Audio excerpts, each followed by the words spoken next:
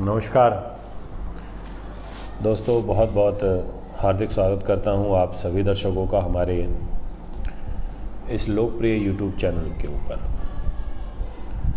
आज मैं आपसे बात करने वाला हूँ एक बहुत ही अचूक उपाय के बारे में। एक ऐसे उपाय के बारे में जिसका ज्योतिष शास्त्र के अंदर बड़ा ही विशेष महत्व है।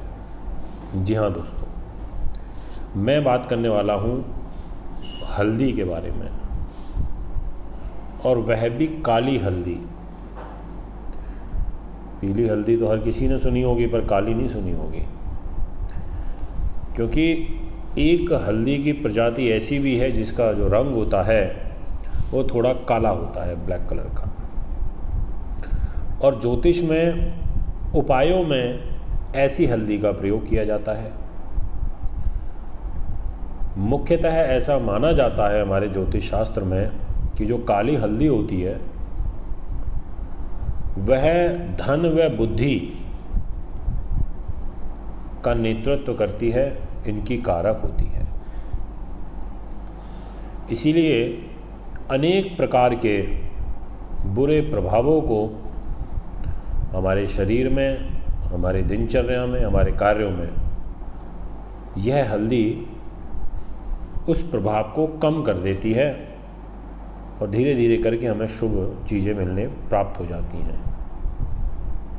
लेकिन ये भी सत्यता है कि इसको ऐसे ही प्रयोग करने से कोई भी फ़ायदा नहीं होगा। उससे पहले इस हल्दी को सिद्ध करना पड़ता है।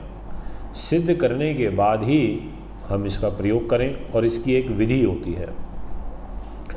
किसी भी शुक्ल पक्ष या कृष्ण पक्ष की अष्टमी तिथि, जी हाँ दोस्तों, जो आठवीं तिथि होती है, कि सुबह सूर्योदय से पहले आपको उठना है, नित्य क्रम करना है, स्नान आदि से शुद्ध होने के बाद, पवित्र हो जाने के बाद आपको एक साफ़ कपड़ा पहन करके पूरब दिशा की ओर मुख करके बैठना है।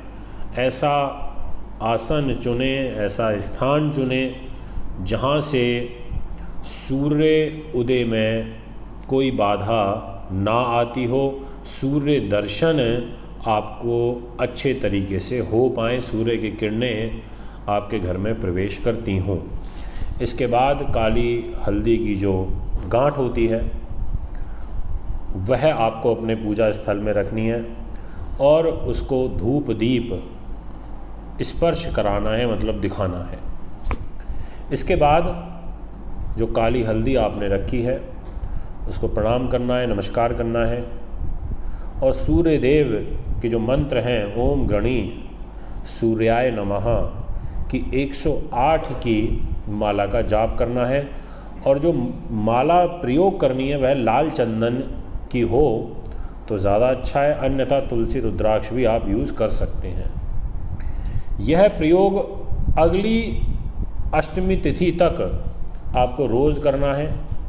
मतलब नित्य क्रम आप इसको डेली रूप में करें तो ये पूर्णतः सिद्ध हो जाएगी।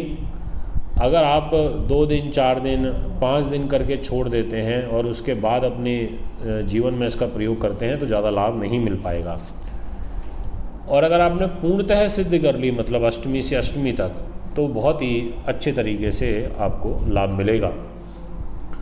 अब इसका यूज़ कैसे करना है?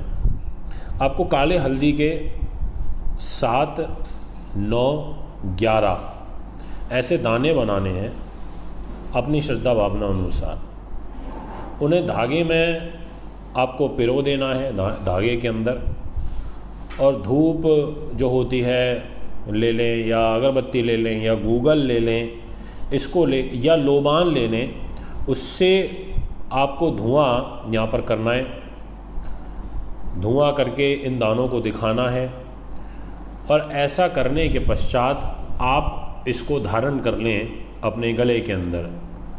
इसकी माला जो आपने बनाई है, सात, नौ या ग्यारह छोटे छोटे दानों की उसको अपने गले के अंदर आपको धारण करना है। इससे आपको काफ़ी अच्छा रिज़ल्ट मिलेगा, जो बुरे प्रभाव हैं आपके।